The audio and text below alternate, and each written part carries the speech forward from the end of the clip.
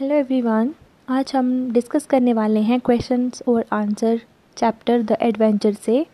Question number यहाँ पे one जो है, उसमें आपको स्टेटमेंट दी गई हैं। आपने स्टेटमेंट पढ़नी है और देखना है कि वो करेक्ट है या इनकरेक्ट है। उसके हिसाब से आपने स्टेटमेंट को बताना है कि वेदर ट्रू या फॉल्स तो यहाँ पे स्टेट स्टेटमेंट वाला क्वेश्चन नंबर वन जो है the story is an account of real event तो ऐसा हो ही नहीं सकता।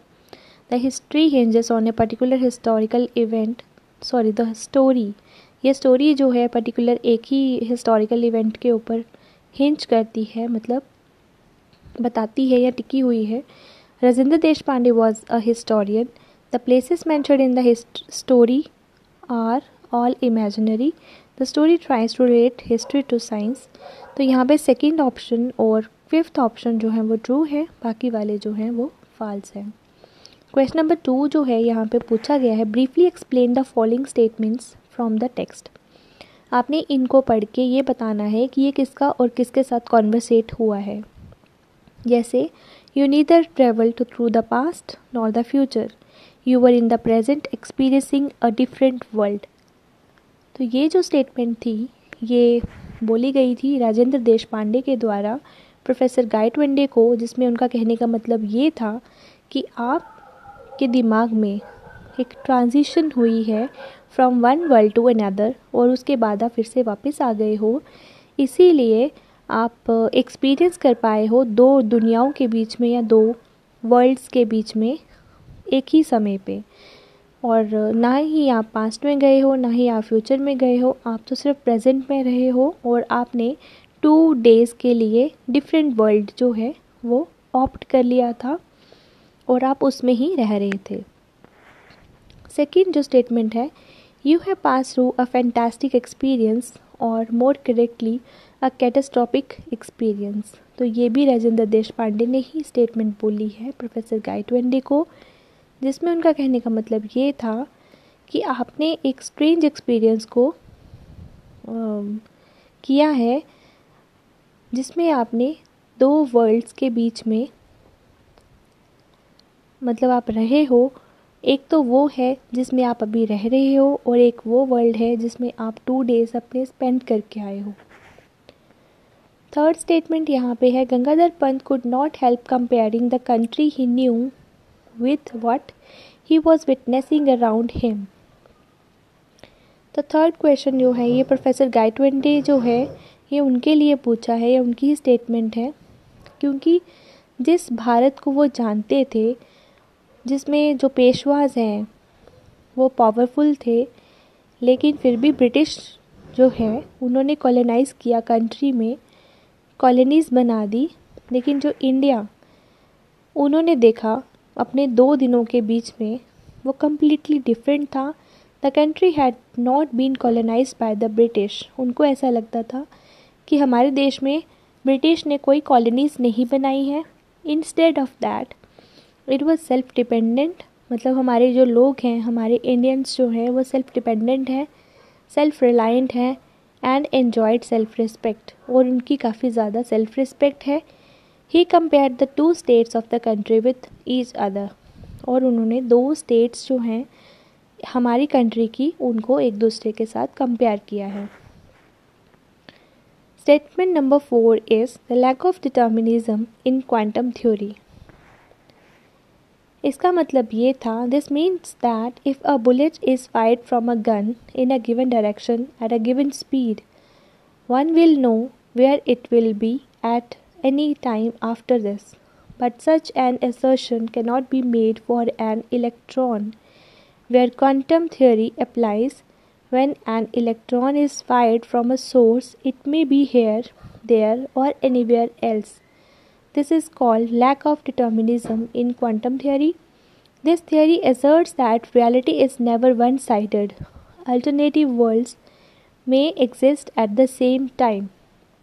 इसका मतलब यहाँ पे ये बताया है कि अगर हम एक बुलेट से फायर करते हैं एक गन से गन से बुलेट को फायर करते हैं किसी भी पर्टिकुलर डायरेक्शन में गिवन स्पीड पे तो हर एक इंसान को पता होगा कि ये कहाँ जाएगी लेकिन एक अगर हम एजर्शन ले लें, मान लें इलेक्ट्रॉन के लिए तो ये इलेक्ट्रॉन पे अप्लाई नहीं हो सकता बिकॉज़ क्वांटम थियोरी जो है, ये यहाँ पे एप्लीकेबल हो ही नहीं सकती। एक इलेक्ट्रॉन को अगर हम फायर करते हैं किसी भी सोर्स से तो वो कभी यहाँ होगा, कभी वहाँ होगा, क्योंकि वो तो फ्री है, वो कहीं पे भी मूव कर सकता है। इसको हम बोलेंगे lack of determinism in quantum theory कि क्वांटम थ्योरी के बीच में ये क्या है? ये कमी है डिटर्मिनिज्म की। तो ये जो थियोरी है, ये एजर्ट एजर्ट करती है कि भाई रियलिटी जो है वो never it can be never it can be set that it is only one sided तो ऑल्टरनेटिव वर्ल्ड्स जो हैं they may exist at the same time इसीलिए हम यहाँ पे प्रूव कर सकते हैं कि भाई ऑल्टरनेटिव वर्ल्ड्स जो हैं, ये हो सकते हैं। And this is what it is all set in our human brains Statement number fifth is you need some interaction to cause a transition. तो फिफ्थ स्टेटमेंट यहाँ पे कह रहा है professor Gaitonde made a transition which according to Rajendra Deshpande had happened because of the interaction happening in professor's mind at the time of his collision. When the collision took place, Gaitonde was thinking about the catastrophe theory and its role in wars.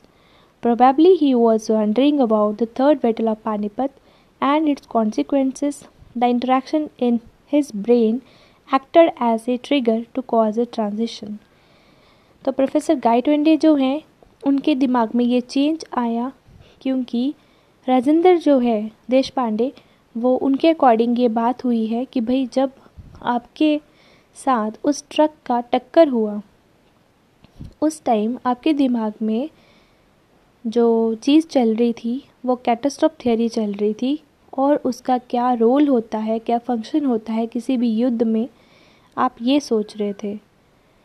तो catastrophic theory जो है, ये आपने science से ले लिया और जो उसके रोल्स हैं या उसका जो एक डिस्ट्रक्टिव इम्पैक्ट पड़ता है, वो बैटल ऑफ़ पानीपत के ऊपर या उस युद्ध भूमि के ऊपर वो जब आप सोच रहे थे, वो अपनी हिस्ट्री के बीच में उसको रिलेट कर दिया। फिर उसके कॉन्सिक्वेंसेस क्या हुए? तो ये आपका ब्रेन जो था, इसने एक ट्रिगर की तरह एक ट्रांजिशन लाने में आपके दिमाग से ही मतलब जैसे कोलाइड हुआ, टक्कर हुई तो उस टाइम पे आपके ब्रेन ने ऐसे एक्ट किया जैसे वो एक ट्रिगर है, जैसे टक्कर हुई तो उसने वो ट्रांजिशन में आपको ला के रख दिया। या वो चेंज जो आपने फील किया दो दिन के लिए, आप उस दुनिया में पहुँच गए। तो this is what the important things are आगे हम अगर बात करें टॉकिंग अबाउट द टेक्स्ट तो इसमें क्वेश्चन नंबर वन जो है, इसको मैं आपको पढ़ा, पढ़ के बताती हूँ। Discuss the following statement in group of two pairs each pair in a group taking opposite point of view तो ये एक डिबेट की तरह हो गया। अ सिंगल इवेंट में change the course of the history of a nation यहाँ पे आप फॉर द मोशन भी बोल सकते हो। है यू कैन सी यहाँ पे अंगेज द मोशन भी है। तो this is what we have for and this is what we are against so अगर आप यहाँ पे देखते हो तो फॉर द मोशन या अंगेज द मोशन हम यहाँ पे नहीं कर रहे हैं। So we are living this question this is not that much important second भी यहाँ पे है थर्ड भी यहाँ पे है। सब में आपने पेयर्स में डिस्कस करना है। सो so, सेकेंड मैं आपको क्वेश्चन जो है ये बताती हूँ ये आप लिख सकते हो। The story is called adventure compare it with adventure describe in we are not afraid to die ये जो स्टोरी है द एडवेंचर आपने जो पढ़ी इसको आपने कंपेयर करना है we are not afraid to die your chapter second is तो यहाँ पे आपने इसको कंपेयर जब करेंगे आप डिस्क्राइब करोगे the underlying theme of both the story the adventure and we are not afraid to die is the same However, the application of the theme to event is different in both. One deals with the adventure in a real life situation, and the other one is about the adventure that was mentally experienced. In the story, We're Not Afraid to Die, the characters take a hazardous sea voyage, overcome the odds, and survive whatever the dangers were, they were very real. In the story The Adventure, the protagonist, Guy Twende, does not embark upon an adventurous journey. His collision with the truck triggers his mind to travel to the world which is different from the world that he lives in.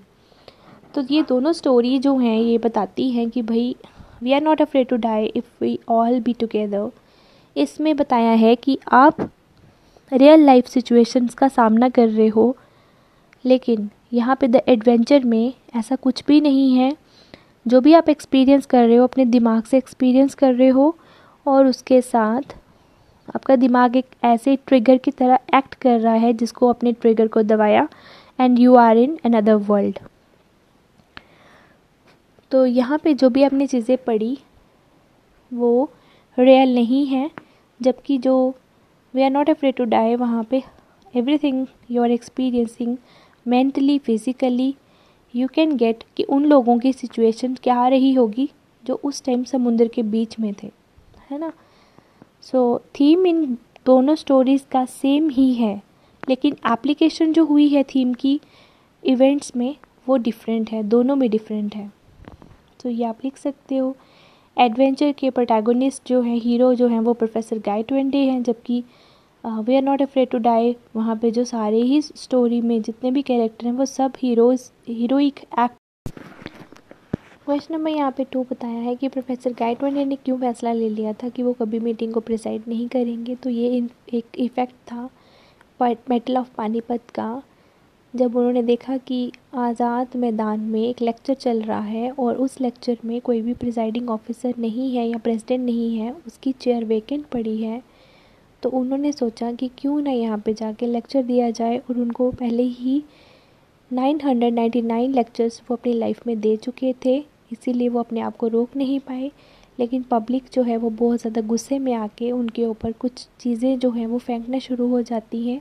जब वो तब भी die से नहीं उतरते या mic अपने हाथ में रखते हैं तो उनको ऐसे लगता है कि अब इनको पकड़ के उतारना पड़ेगा। इसीलिए लोगों ने गुस्से में आकर स्टेज पे चढ़ के उनको नीचे फेंक दिया। और इसी चीज़ से जब उनके दिमाग में फिर से कहीं चोट लगी तो वो फिर से प्रेजेंट वर्ल्ड में पहुँच गए। So this is what the answer of this question आपको जैसे ठीक लगे, आप ऐसे ही बना सकते हो। So this is all about we discussed about the adventure and its question and answer thank you. I hope so you will like share and subscribe this channel with your friends so that they can also get the same benefit as you people are getting. Thank you so much